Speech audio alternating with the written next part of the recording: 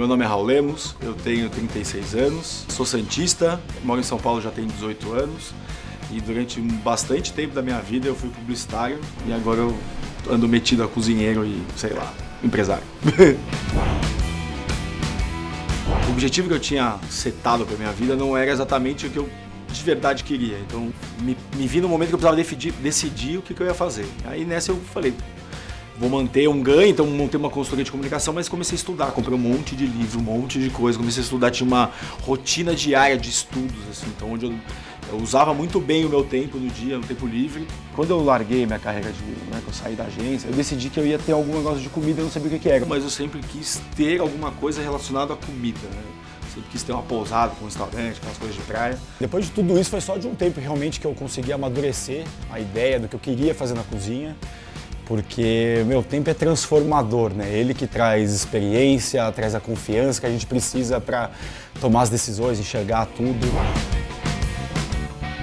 O Masterchef foi a grande mudança, né? Divisor de águas é uma palavra engraçada, né? Tem um antes do Master, um a, AM e DM, né? O antes do Masterchef e depois do Masterchef, porque a gente está tendo essa conversa agora por causa disso. o primeiro trabalho na gastronomia foi um evento que a gente fez. A gente começou a fazer um eventinho pequeno, a gente serviu 100 pessoas, mas eu acho que a gente, todo, todos nós aqui, né, éramos os nós Moscada, a gente uh, entende que a nossa primeira experiência foi uma feira que a gente fez no Bexiga, que foi muita gente. Então a gente, meu, fez uma primeira experiência para 100 pessoas e na segunda já 2 mil.